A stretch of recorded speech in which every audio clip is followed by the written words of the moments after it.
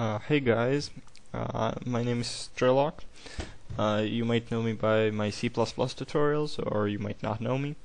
Uh, this this series is going to be called the Java mm, Java tutorials based on the book Java Concepts, and I'm just going to try to explain for the people that are confused uh, by the Java Concepts book and the exercises that are given there uh, what Java is and how it works.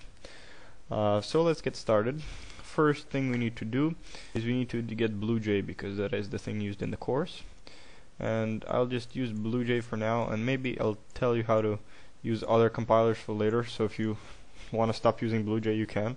So here I have google.com and I want to on Google I want to I can even enlarge it a little bit so you can see better.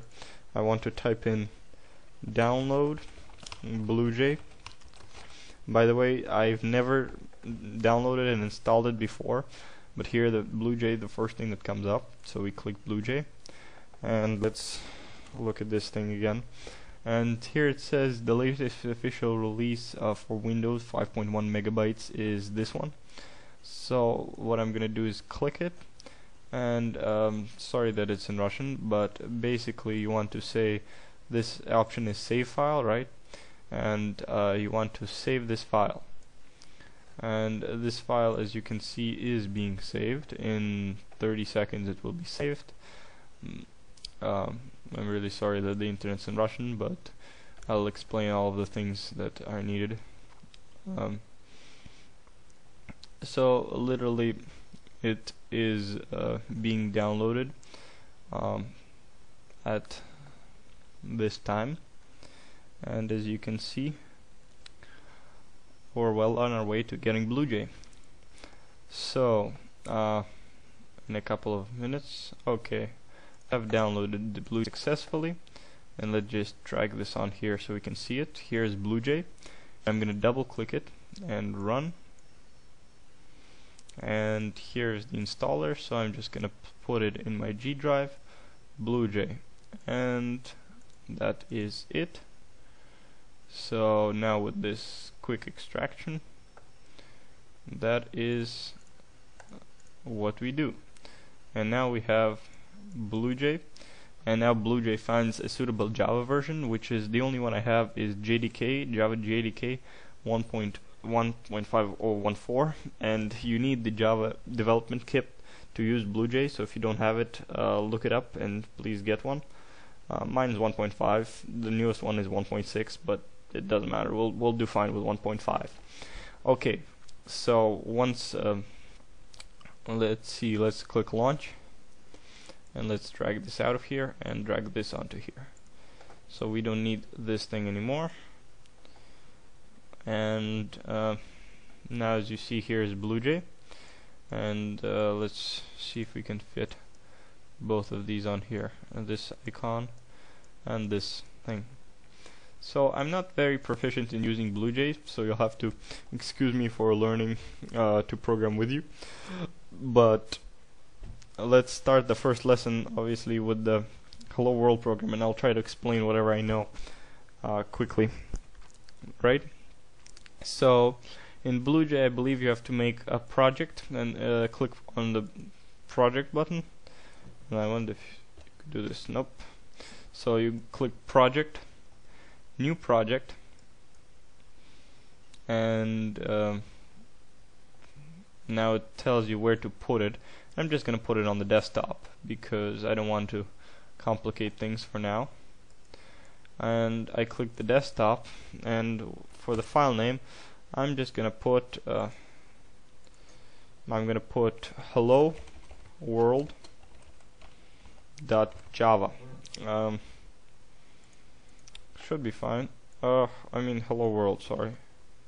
Right hello world. My project is gonna be named hello world. And now I have this really nice thing which is called hello world.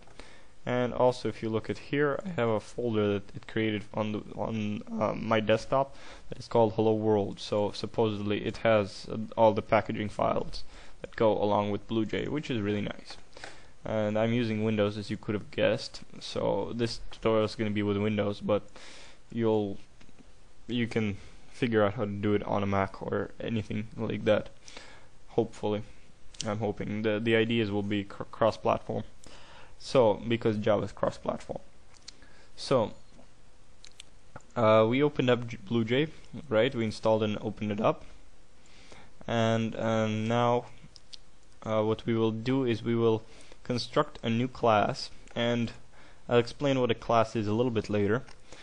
And for the the given period, uh, the class name will be um, hello. Where yes, it will be hello, and um, it will just be a new class and now you, you just double click it to bring out the source code of the class and all of this junk that we get is uh, obviously not necessary so we'll I'll just erase all of it because uh, it's good for people who don't know how to program yet uh, because it gives them an example of how to do it.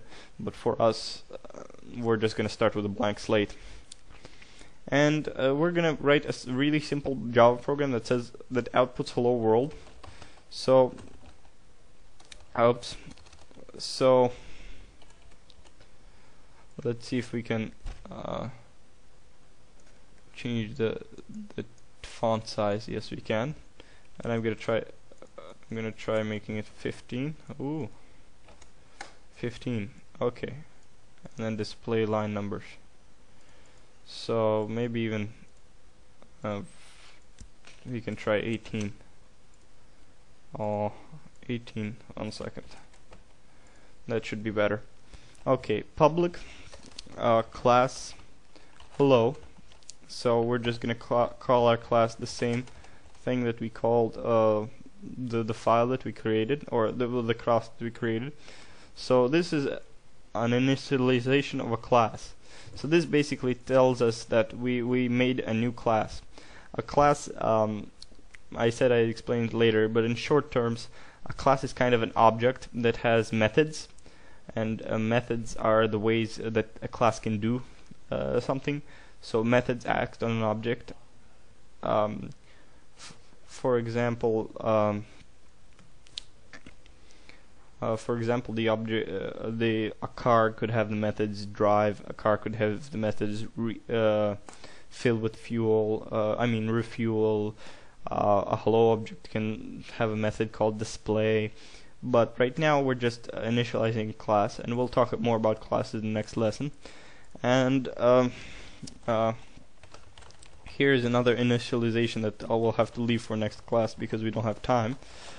Uh, so string uh, so we just have a void main function right uh, initialize a void main function then the curly braces indicate the start and the end of the code of this function right? So if I indent it here's going to be the function here's the class. That's an encapsulation basically. It encapsulates everything. It puts it together and hides it from everything else. Okay and then inside this uh, this main method, right, main uh, function, we're just going to put system.out.println hello world. And um, th what this code does is system system.out.println prints a line out of the onto the screen, and these uh, these um, uh, colons, uh, not not these colons these things define a string so this string is going to get printed onto the screen. And so we now compile it and it should say uh, done done compiling. And then you could just say um, void run void main by uh, right clicking onto it clicking void main and not putting any arguments. This is where the arguments go but we'll talk about that later. Just click K and we have a new window with the output which is hello world. There we made a functional hello world program. Uh, thank you for watching this tutorial and uh, we'll talk more about the things that I said here and uh, about the other uh, things to do with BlueJ um, more to come in the next tutorial in the series. Thank you. Have a nice day and I hope you watch my next tutorial